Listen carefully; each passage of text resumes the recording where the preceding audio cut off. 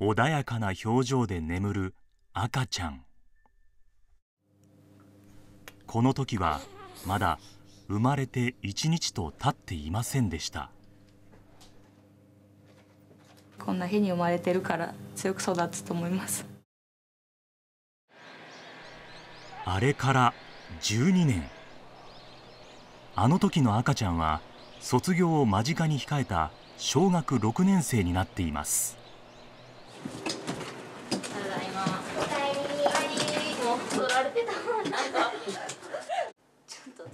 東大阪市に住む増川寛太君11歳。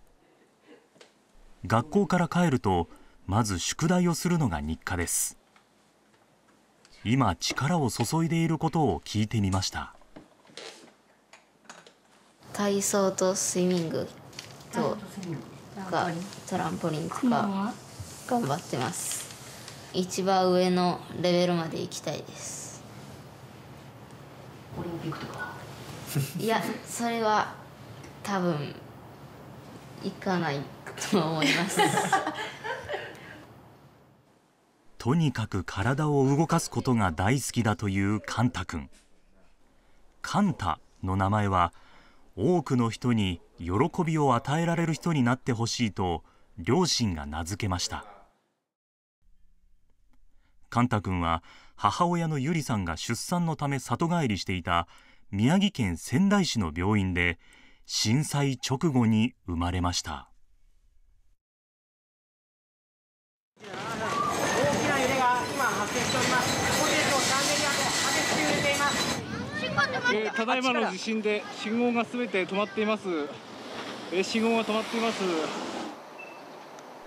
この震災で宮城県では8万棟余りの建物が全壊空港が浸水するなど津波の被害も甚大で1万人以上が犠牲となりました。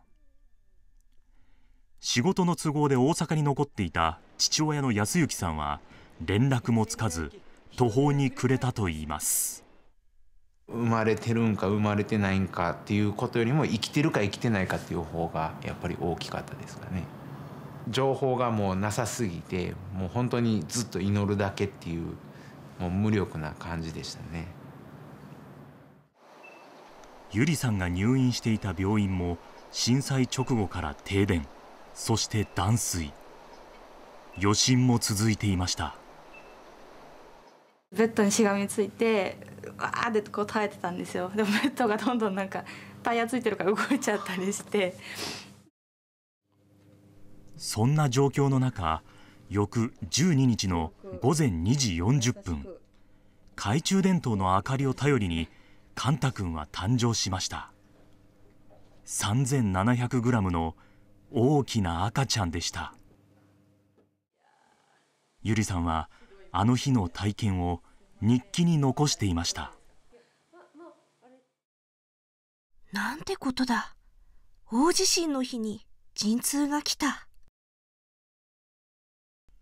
この一言から始まる出産記録はびっしり6ページ地震は入院後病室にいる時に起きました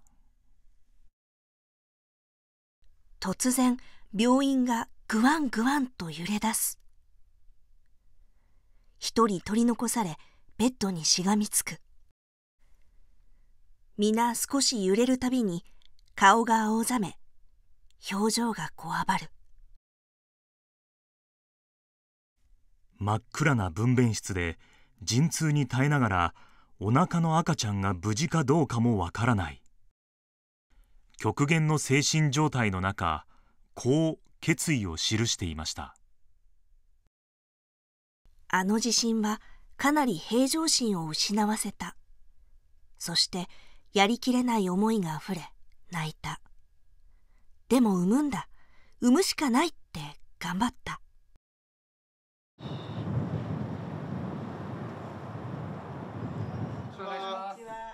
宮城にはゆりさんの両親が住んでいます。夜通し娘のそばにいた由美子さんはあの特別な夜を今も鮮明に覚えています。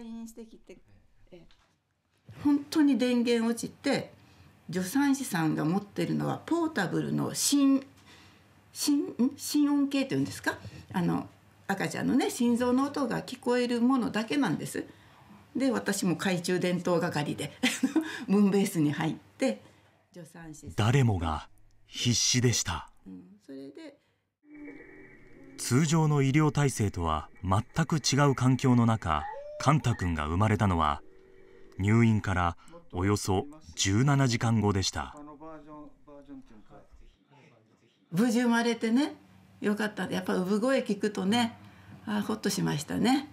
うんちょっとちょっと貸して。こんな日に生まれたから強く育つと思う。ゆりさんの言葉通りカンタ君は病気知らずでここまで大きくなりました。料理が好きでカレーやグラタンを家族に振る舞うことも。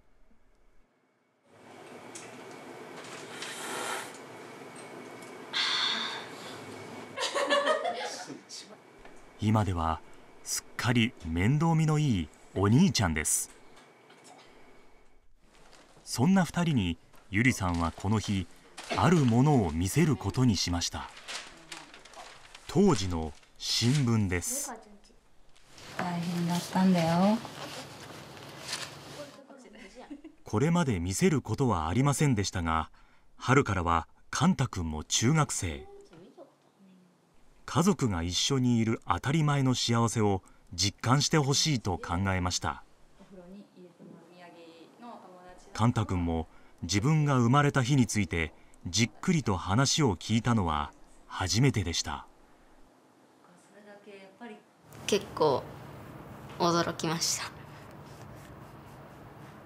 えー、っとまあ頑張ってくれたんだなっていういっぱいその必要がなくなってる中でその自分が生まれてその人たちの分まで生きるというかまあそういうえまあ生きたいという意思はあります。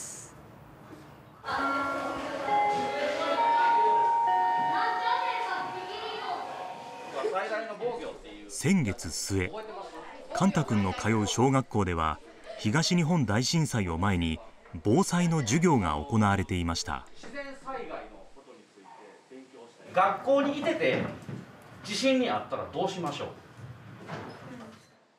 東大阪市の公立小学校では年に3回生きていくために必要なことを学ぶ総合学習を行っていてこの日は地震への備えがテーマです。ハザードマップを確認したり防災バッグの中身について意見を出し合ったりカンタ君も積極的に参加します。じゃあ飲料水。水分いいやじゃあ水分。あじゃあ水分。防災を自分ごととして考える。より命を守る意識と自覚が芽生えたようですいつどんな災害が来るかわからないので日頃からどうやって自分自身を守るかを考えて心構えをして過ごしたいです。